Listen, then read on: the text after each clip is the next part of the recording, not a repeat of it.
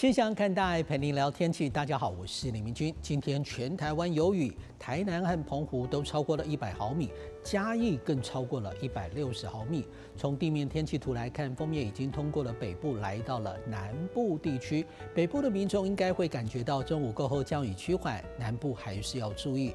呃，今天晚上各地都还是可能会下雨，中南部尤其是山区还可能会有大雨，就是黄绿色或是橘红色的区块。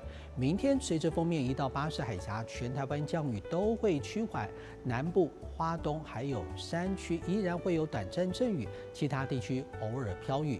而未来一周天气，先看到周二，华南雨雨区的水区会飘过来，中南部还有东部以及东南部阵雨，其他地区也会有局部阵雨。而周三。周四水气依然丰沛，午后近山区还可能会有雷雨。至于周五、周六降雨又会变得明显。整体来说，这个星期都是会下雨，只是降雨的范围和强度都会比今天缓和。一周天气先看到北部，周一、周二是阴天，接着就会下雨，二十二到三十度。而中部和北部一样，周三之后会下雨，二十三到三十二度。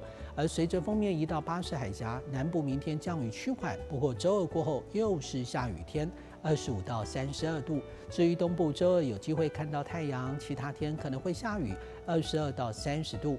而外岛部分明马祖明天有机会看到阳光，接下来包括金门和澎湖都是阴天或下雨天，二十到二十八度。